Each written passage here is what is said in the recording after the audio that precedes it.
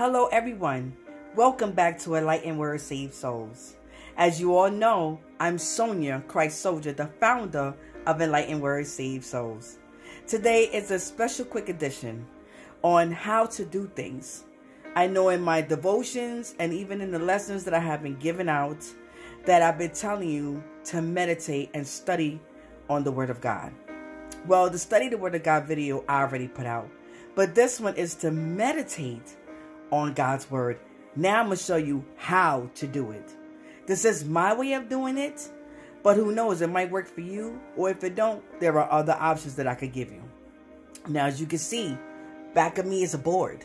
I like using the board because I don't like using paper or I don't like carrying paper because I make a mistake and throw it away. So what I have wrote on the board was three things. Three things on my board, which is speak affirmation to yourself, meditate on God's word, and also what God says about you. You should meditate on that too. But the most important thing that you use to meditate is using God's word. Because all words are powerful, but God's word is extremely powerful to any other word.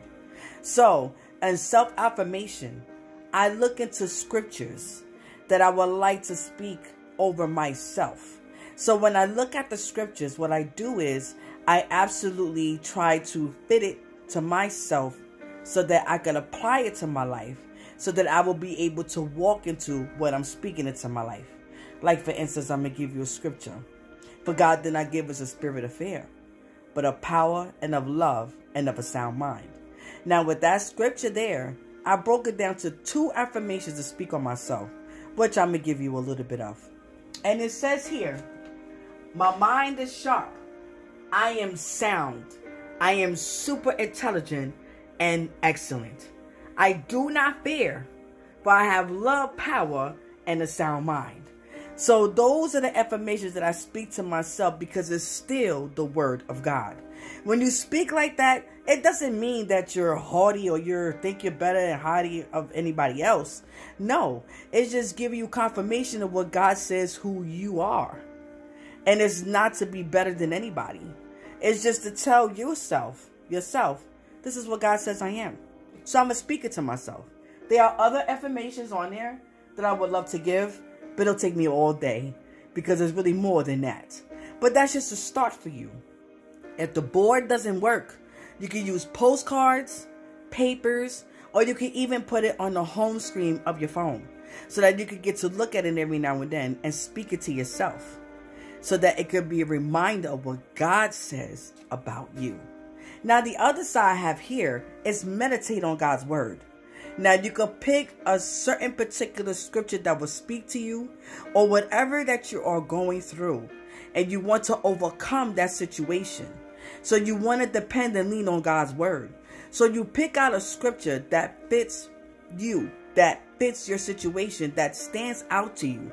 That means God is trying to tell you something. Meditate on that scripture. So the scripture that I got for me, because there is times I battle with my mind. So I have to get out scriptures that goes towards my situation, which is my mind. Now, there are a lot of mind scriptures, but there are also things that you can think on and not think of whatever the devil put in your mind, yourself or anyone else. You could eliminate all that by refusing it, binding and rebuking in the name of Jesus, and add the word of God to it. So I picked Philippians 4 8, and I'm going to read it to you because this is a very good scripture. And it says, Finally, my brethren, whatsoever things are true, whatsoever things are honest, whatsoever things are just, whatsoever things are pure, whatsoever things are lovely, whatsoever things of good report, if there be any virtue, if there be any praise, think on these things. So, as you notice, I don't know if you can see it real far, but I'm going to close you up a little bit. There are words that I underline, which is true, honest, just, pure, lovely, and good report. The reason why I underline those things, because those are the things that God commanded me to think on and to give praise to God on. And it helps me not to think on the bad things that's happening, things that's happening that's trying to oppose to me to make me have a bad day, or things that the devil will put in my mind to have me thinking on. So we cannot think on those things. No, no, that does not benefit us at all. So that's why I underline those things and I meditate on those things. And this is what God tell me to do.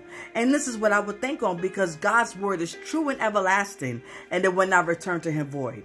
And if it wasn't true, he wouldn't said it. So that's the purpose of me meditating on that to help my mind.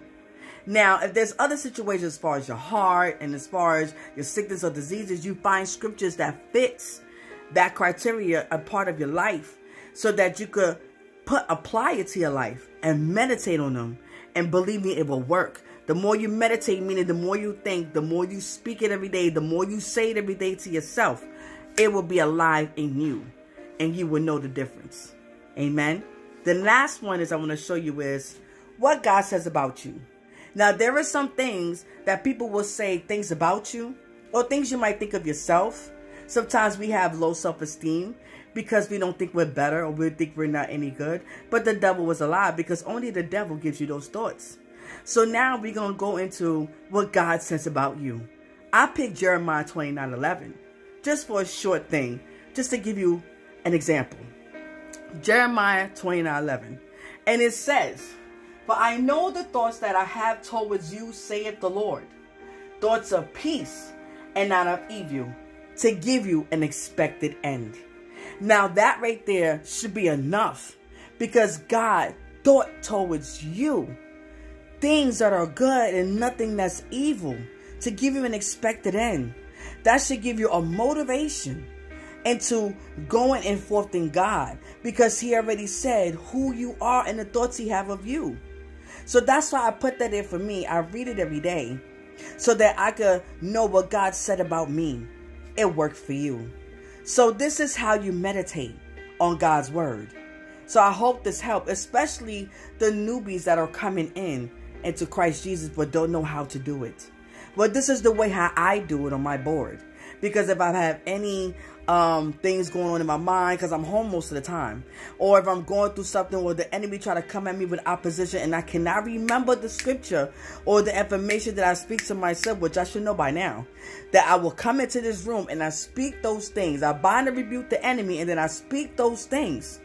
Whatever that was coming to you negatively, thoughts, images or whatever, goes away immediately because you placed it with the word of God.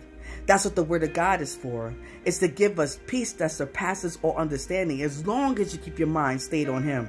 How you keep your mind stayed on him? By the word. You use the word against your situation. Use the word against whatever you're going through and to apply it to yourself so that it will grow within you and that you can walk out of what the word says. Amen. So this is what I wanted to share with you all today.